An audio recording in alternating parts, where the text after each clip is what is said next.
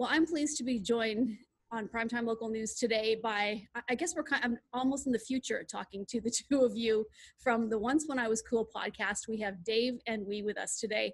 Thank you. It's six in the morning, your time, and you got up to talk to us. Oh, we really, really appreciate it. Oh, g'day, and thank you for having us along. We would we would have got up at two in the morning to for the opportunity. We really appreciate it to the opportunity to get our, our word out there and our sultry voices. We just hope we for any if you do have any listeners, we hope we're just not disappointing in the uh, flesh. And I know that with podcasting, you uh, you develop an image of what you think people might look like. So I hope we're not too disappointing. Well, you know, just like working in in radio, sometimes too, they say, "Geez, you sound a lot taller." So. now the I, I, I, never sound a lot taller.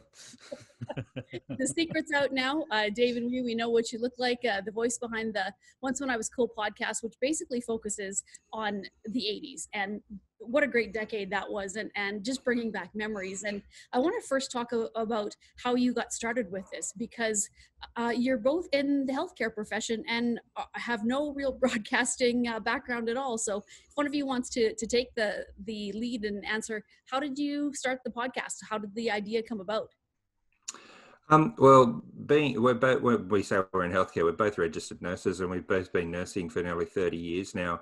Um, and I moved from my comfort zone in uh, Brisbane, in Queensland, and moved down to to Hobart in Tasmania.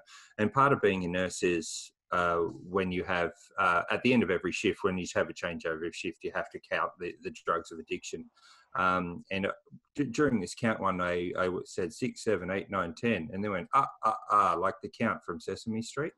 And this young girl just looked at me and had no idea what I was talking about. So at that point, I realized, wow, I, am not as cool as I used to be, or I'm not as cool as I think I am, and I can't relate to these people. So it was sort of born out of there, and it was sort of 18, 18 months of discussion backwards and forwards. And um, I, I, discussed with the guy that I work with, whose name is Simon, and he's our producer, and he's the third part of our of Once When I Was Cool. He's he's the real driving force that gets us out on the air. And then I had a discussion with we, who I'd known for a long time, and we both had similar sorts of thoughts. So we thought we'd, we'd get it going. Well, now we maybe I'll throw this one over to you and just talk about um, the topics that you guys pick. Did you sit ahead of time and come up with a list of things, or was it just well, let's talk about this today, and and this is what we'll go with? Well, we we did put some ideas backwards and forwards, and uh, we'd send notes to each other. Oh, what about this and what about that? Um, sometimes I do get a surprise. I think we're doing one thing, and I'll get uh, something else coming. But um, as you probably realize, we talk about what we have done and what we experienced when we grew up in, in both sort of similar eras, but on different um, spectrums. Um, Dave was at the coast. I was in a small country town. So from from that point, um, yeah, we just knocked ideas backwards and forwards, and then we go pick a topic. We do limited sort of research, and we say that a lot. We do very limited, if any. Um, he does, but not in, me. but it's more about um, it's more about our experiences, and you know, I tell stories about when I was growing up, the same as what uh, Dave does, and we just throw it backwards and forwards, and that's where it really comes from, and it just brings up memories. Even uh, people that listen to it go, "Oh, you're so right. Oh, what about this? Do you remember this? And do you remember that?" And my uh, brother, who's really been my test dummy in life, goes, I forgot about that until I remember that. I can't believe you did that to me. so, well, yeah, it, it, you know, it is really relatable, especially for anybody who was growing up during the 70s and the 80s specifically. You know, talking about the different haircuts, and I know you mentioned like having a rat tail flat top, and you know, talking and a frullet. Yeah, right. And you know, talking about cassettes, and you know, there, there's maybe something I don't know if um, people in the millennial age group would maybe understand, but people in my age group, it's like you said, you listen to it and it brings back the memories. Have you had quite a good response from people just talking about, oh, hey, uh, like you said with your brother, you know, I remember this, and then they send in ideas, maybe talk about this, talk about that. Have you had quite a favorable response?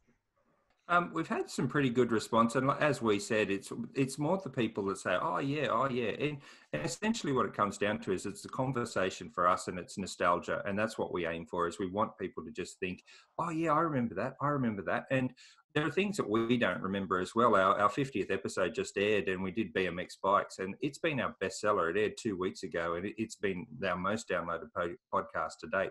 Uh, and that was from a fan submission. We just put it out on Facebook and said, if anyone's got any ideas, let us know. And we hadn't considered it at all. So it's great to we, we try and get as much fan in. Well, I say fan, uh, but it's you know listener. I don't know if anyone's a big fan of this lot, but uh, we, we just try to get as much engagement as we can. And just if people listen to us and go, oh, that's right, that's right, that's right, um, to be able to do that, and we do get that's that's the sort of feedback we do get.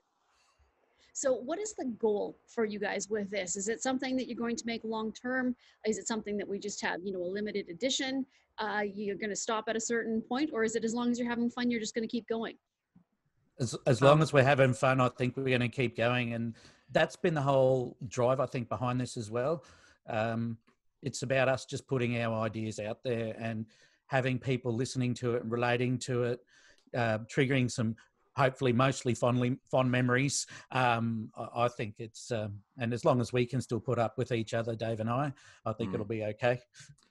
We've we've had that que- we've had that question. Sorry, um, we've had that question asked a few times actually, and um, people say, oh, you know, you can go and put ads in, you can, and you can try and monetize it, but it's not really about that for us. We don't, we don't do it for as a business. We have jobs, and we're fortunate in this climate to still have permanent jobs that we we don't need to monetize it. And I think it comes across better without the advertising. Not to say that we wouldn't do it, um, but we just, it's just our memories and it's just a conversation between us. And we're just grateful that people will listen. We keep it at a length of try and keep it between 20 and 30 minutes, which is a commutable length so that people can listen on their way to or from work. And hopefully that gives somebody, a, you know, a, a brighter start to the day thinking about the things that they used to do and the things they used to know. And, um, things that aren't there anymore that we we still love and we still wish were here. But you know, for better or for worse, the world's moved on, and hopefully we can still hang on to it in some kind of way. So whatever we're happy, we'll keep doing it.